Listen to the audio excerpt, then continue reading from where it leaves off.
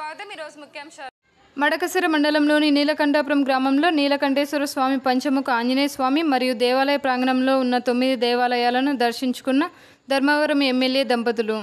ఈ కార్యక్రమంలో దేవాలయ కమిటీ చైర్మన్ మాజీ మంత్రి రఘువీరారెడ్డి వారిని సాదరంగా ఆహ్వానించి వారికి దేవాలయ విశిష్టతను వివరించారు మరియు దేవాలయ అర్చకులు శాలువాతో సన్మానించారు. ఈ కార్యక్రమంలో రఘువీరారెడ్డి కుటుంబ సభ్యులు వైఎస్ఆర్సీపీ శ్రేణులు తదితరులు పాల్గొన్నారు.